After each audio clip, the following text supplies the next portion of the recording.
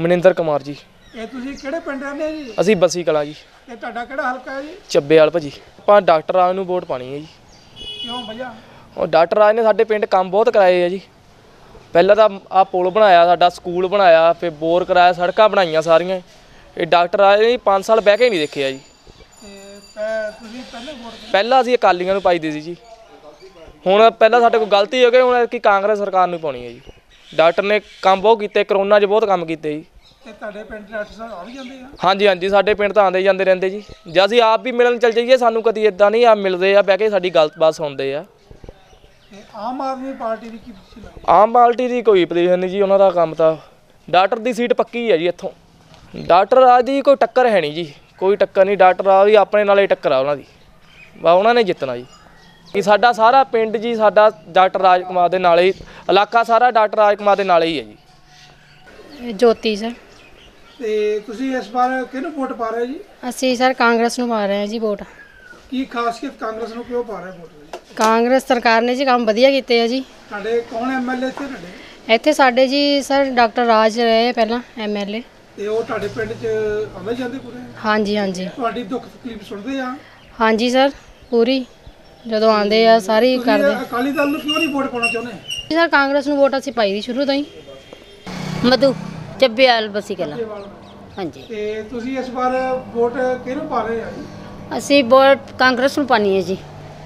ਤੇ ਡਾਕਟਰ ਰਾਜ। ਐਮਐਲਏ ਕੌਣ ਕਾਂਗਰਸ ਦੇ ਇੱਥੇ ਡਾਕਟਰ ਰਾਜ। ਡਾਕਟਰ ਰਾਜ ਨੂੰ ਤੁਸੀਂ ਕਿਉਂ ਵੋਟ ਪਾਉਣਾ ਚਾਹੁੰਦੇ ਆ ਅਸੀਂ ਇਸ ਉਮੀਦ ਤੇ ਪਾਣਾ ਚਾਹੁੰਦੇ ਕਿ ਅਸੀਂ ਸ਼ੁਰੂ ਤੋਂ ਹੀ ਕਾਂਗਰਸ ਨੂੰ ਵੋਟ ਪਾਉਂਦੇ ਆਂਦੇ ਆ ਮੈਂ ਕਿਹਾ ਤਾਂ ਵੀ ਅਸੀਂ ਇਸ ਉਮੀਦ ਤੇ ਵੀ ਸਾਨੂੰ ਬੱਚਿਆਂ ਨੂੰ ਅੱਗੇ ਭਵਿੱਖਕਰਾ ਬਣੇਗਾ। ਤੇ ਤਾਂ ਤੁਹਾਡੇ ਡਾਕਟਰ ਰਾਜ ਨੇ ਕੀ ਕੀ ਕੰਮ ਕਰਾਏ ਇੱਥੇ? ਸਾਡੇ ਡਾਕਟਰ ਰਾਜ ਨੇ ਕਾਫੀ ਹੱਦ ਤੱਕ ਕੰਮ ਕਰਾਏ ਆ ਠੀਕ। ਤੁਹਾਡੀ ਸਮੱਸਿਆ ਸੁਣਦੇ ਆ ਤੁਸੀਂ ਲੈ ਕੇ ਜਾਂਦੇ ਆ ਹਾਂਜੀ ਸੁਣਦੇ ਆ। ਤੇ ਤੁਸੀਂ ਅਕਾਲੀ ਦਲ ਨੂੰ ਕਿਉਂ ਨਹੀਂ ਵੋਟ ਪਾਉਣਾ ਚਾਹੁੰਦੇ? ਅਕਾਲੀ ਦਲ ਨੂੰ ਵੋਟ ਸਾਡਾ ਕੁਝ ਹੋਇਆ ਨਹੀਂ ਜੀ। ਤੇ ਆਮ ਆਦਮੀ ਪਾਰਟੀ ਨੂੰ ਕੀ ਕਹਿਣਾ? ਆਮ ਪਾ- ਪਾਰਟੀ ਨੂੰ ਅਸੀਂ ਕਦੇ ਚੁਣਿਆ ਹੀ ਨਹੀਂ ਨਾ ਕਦੀ ਵੋਟ ਪਾਈ ਆ ਤੇ ਹੁਣ ਹਾਂਜੀ ਕਾਂਗਰਸ ਨੂੰ ਵੋਟ ਪਾਉਂਦੇ ਹਾਂ।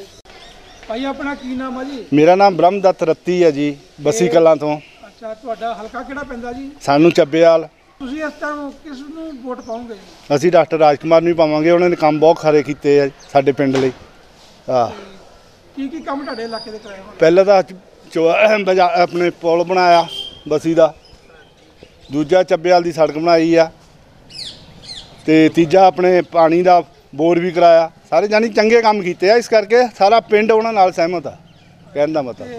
ਤੁਸੀਂ ਅਕਾਲੀ ਦਲ ਨੂੰ ਕਿਉਂ ਨਹੀਂ ਵੋਟ ਪਾਓਗੇ? ਨਹੀਂ ਉਹ ਅਕਾਲੀ ਦਲ ਇਦਾਂ ਨਾ ਵੀ ਪਹਿਲਾਂ ਉਹਨਾਂ ਨੇ ਕੁਝ ਕੀਤਾ ਨਹੀਂ 10 ਸਾਲ। ਗੱਲ ਤਾਂ ਇਹ ਆ ਸਾਡੇ ਪਿੰਡ ਲਈ ਨਹੀਂ ਕੀਤਾ ਕੁਝ ਤਾਂ ਕਹਿੰਦੇ ਤੇ ਆਮ ਆਦਮੀ ਪਾਰਟੀ ਦੀ ਕਿਹੋ ਜਿਹੀ ਕਾਰਗੁਜ਼ਾਰੀ ਨਹੀਂ ਆਮ ਆਦਮੀ ਪਾਰਟੀ ਦਾ ਇੰਨਾ ਵਜੂਦ ਨਹੀਂ ਹੈ ਕਹਿਣ ਦਾ ਮਤਲਬ।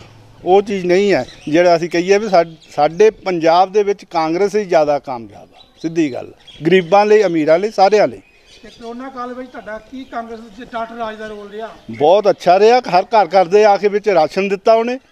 ਕਹਿਣ ਦਾ ਮਤਲਬ ਹਰ ਬ- ਜਾਨੀ ਪ- ਪਰਿਵਾਰਾਂ ਨੂੰ। ਅੱਛਾ ਜਦੋਂ ਤੁਸੀਂ ਜਾਣਦੇ ਆ ਤੁਹਾਨੂੰ ਕਿਹੜੇ ਬੜੇ ਇੱਜ਼ਤ ਨਾਲ ਮਿਲਦੇ ਆ ਕਹਿਣ ਦਾ ਮਤਲਬ ਉਹਨਾਂ 'ਚ ਬੋ ਮਜਾਜ ਹੀ ਹੈ ਨਹੀਂ ਨਾ। ਕਹਿਣ ਦਾ ਮਤਲਬ ਤਾਂ ਛੋਟਾ ਬੜਾ ਹੀ ਨਹੀਂ ਉਹਨਾਂ ਨੂੰ। ਹਾਂ। ਸਾਡੀ ਵੋਟ ਪੱਕੀ, ਸਾਡੇ ਸਾਡੇ ਪਿੰਡ ਦੀ ਪੱਕੀ ਆ। ਹਾਂਜੀ। ਇਹ ਬਸੀ ਕਲਾਂ ਚੋਂ ਕਿਸੇ ਨੂੰ ਵੀ ਯਾਨੀ ਪੁੱਛੂਗੇ ਤੇ ਇਹੀ ਕਹੋਗੇ ਡਾਕਟਰ ਰਾਜੀ ਇੱਕ ਐਮਐਲਏ ਆ, ਜਿਹੜਾ ਅੱਛਾ